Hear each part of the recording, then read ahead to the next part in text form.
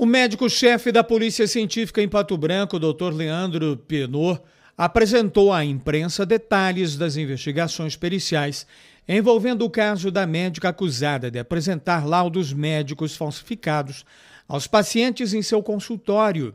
As investigações começam a partir de denúncias que chegaram à Polícia Civil de Pato Branco, que iniciou o trabalho que resultou em mandados de busca e apreensão na casa e no consultório da médica.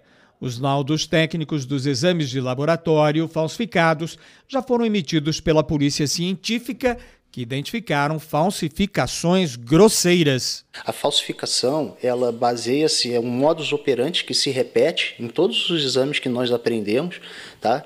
Seria a, o recorte de um, uma tarjeta de papel com um laudo de doença maligna, de câncer, variando de alguns tipos de câncer câncer de pele, que são colados em cima do laudo da, do, do, laboratório, do laboratório de patologia.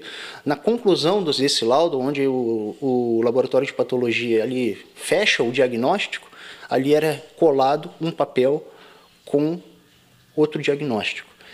E esse diagnóstico sempre de agravo de doença.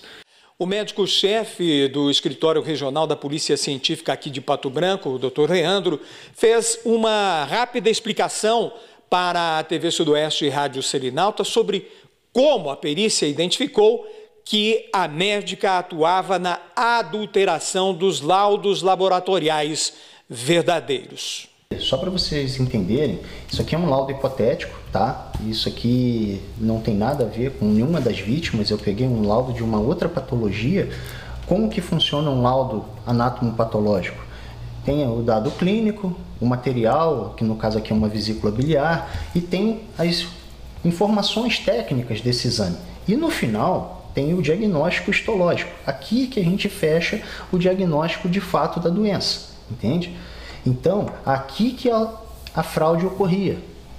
Então, a gente pegava, é, foi, foi isso aqui foi aprendido junto, não com esses dizeres, mas isso aqui é uma coisa mais simplificada.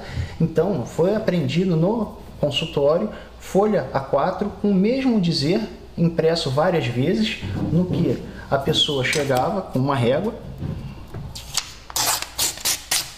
aí pega este papel agora, e cola sobre o original. Então, o laudo, a, a, o modus operandi da, da fraude, da adulteração, era isso aqui: era um recorte de papel que era colado em cima da conclusão desse laudo de patologia.